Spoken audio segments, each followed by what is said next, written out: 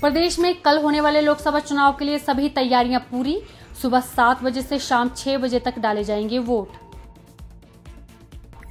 राज्य में तिरपन लाख तीस हज़ार एक सौ चौवन मतदाता कर सकेंगे अपने मताधिकार का प्रयोग। कुल 45 उम्मीदवारों के राजनीतिक भाग्य का फैसला ईवीएम में होगा कैद। स्वतंत्र व निष्पक्ष चुनाव करवाने के लिए राज्य में छियालीस हज़ार से अधिक कर्मचारी चुनावी ड्यूटी पर किए तैनात। प्रदेश में मतदान प्रतिशतता बढ़ाने के उद्देश्य से निर्वाचन आयोग ने आज भी कई जागरूकता कार्यक्रम किए आयोजित।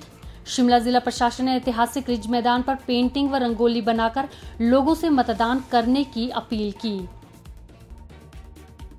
प्रदेश के सभी मतदान केंद्रों पर चुनाव आयोग की पैनी नज़र। आयोग ने इस बार सात सौ तिहत्तर मतदान केंद्रों की वेबकास्टिंग का किया है प्रावधान। लोकसभा चुनाव के चलते चंबा ज़िले के साथ लगती जम्मू कश्मीर और पंजाब की सीमा पर सुरक्षा व्यवस्था बढ़ाई। शांतिपूर्ण मतदान करवाने के लिए करीब डेढ़ हज़ार पुलिस और अन्य सुरक्षा बलों के जवान रहेंगे तैनात।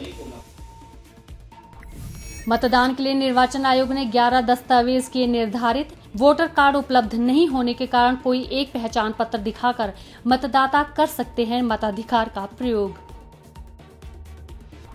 भाजपा और कांग्रेस ने लोकसभा चुनाव में किए अपनी अपनी जीत के दावे।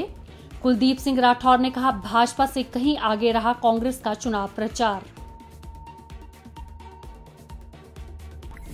बुद्ध पूर्णिमा प्रदेश भर में धार्मिक श्रद्धा व उल्लास के साथ मनाई गई।